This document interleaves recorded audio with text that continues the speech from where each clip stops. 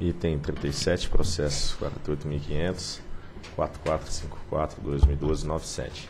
Agravo interposto pela empresa New Energy Options, Geração de Energia S.A., em face do despacho 3.476 de 2012, que não conheceu para tempestivo o recurso administrativo interposto em face do AI 1-2012 da Agência Reguladora de Serviços Públicos do Rio Grande do Norte. Diretor relator, doutor André Peptoni. Mediante o auto de infração número 1, lavrado em 26 de março de 2012, a Agência Reguladora do Estado do Rio Grande do Norte, a CESP, aplicou à New Energy Option multa no valor de 368 mil e a penalidade foi aplicada em razão da constatação de infrações relacionadas ao descumprimento do cronograma de implantação da Eólica Alegria 2, conforme estabelecido no despacho 2665 de 2010 e a execução do projeto em desacordo com o layout aprovado pelo despacho 1160 também de 2010. Inconformada, a New Energy protocolou recurso administrativo contra o auto de infração, o qual foi mantido na íntegra pela ACESP em sede de juízo de reconsideração. Após os trâmites internos da agência estadual, em reunião realizada em 22 de maio de 2012, a diretoria colegiada da ACESP decidiu pela manutenção do auto de infração número 1. Na sequência, por intermédio do ofício 68, de 8 de agosto de 2012, os autos foram encaminhados para apreciação superior desta Agência Nacional de Energia Elétrica. Em 10 de setembro de 2012, fui sorteado como relator do processo.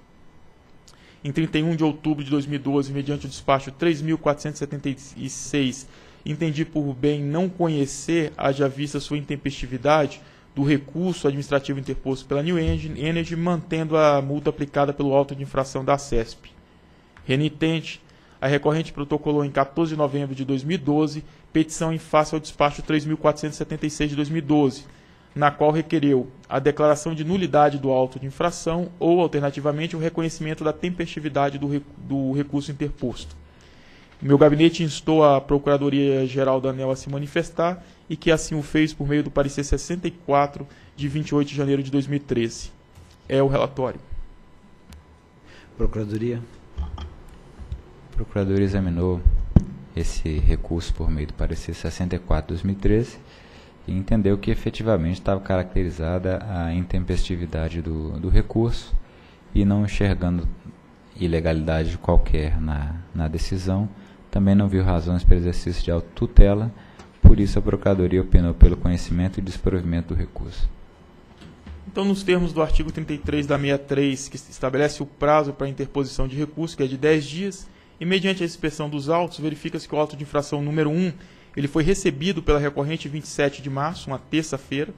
Dessa forma, o prazo recursal iniciou-se no dia seguinte, dia 28 de março, uma quarta-feira, e terminou em 6 de, de abril, uma sexta-feira, que por não ser dia útil, mas feriado religioso, foi prorrogado o prazo para o primeiro dia útil subsequente, que se deu no dia 9 de abril, uma segunda-feira.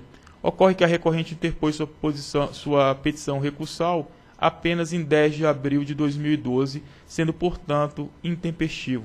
Dessa maneira, mediante o despacho monocrático 3.476, decidi não conhecer do recurso administrativo, haja vista sua intempestividade, fato que foi sustentado pela Procuradoria, e que, diante de não identificar nenhuma ilegalidade na condução do processo, o processo foi, foi o auto de infração foi lavrado por autoridade competente, observando o ato correto, não, não consigo é, promover alterações no recurso